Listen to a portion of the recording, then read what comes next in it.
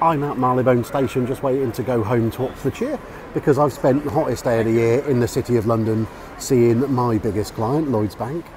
Because believe it or not, it is possible to pick up bigger businesses at networking events and I've I've sort of worked out how to do it over the last 10 years and as well as Lloyds Bank, I also deal with a load of other bigger businesses as well.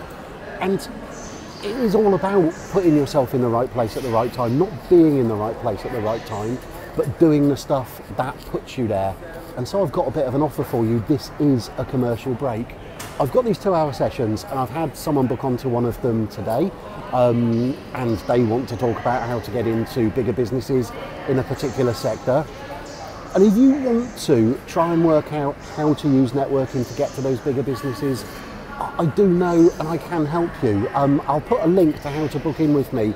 The two hour sessions where I talk you through how to introduce yourself, how to build a follow up routine, and crucially, how to put yourself in the right place at the right time. The real opportunity, of course, is that most people won't bother. I'm getting really confident about these two hour sessions. I've spent a load of time with a load of people, and, and if you do the two hour session and then decide to book onto a networking retreat, I'll actually deduct the cost of the two hour session from the networking retreat to, to make it doubly worth your while, if that makes sense. Hope that all works for you. If you want to get into bigger businesses, I reckon I can help.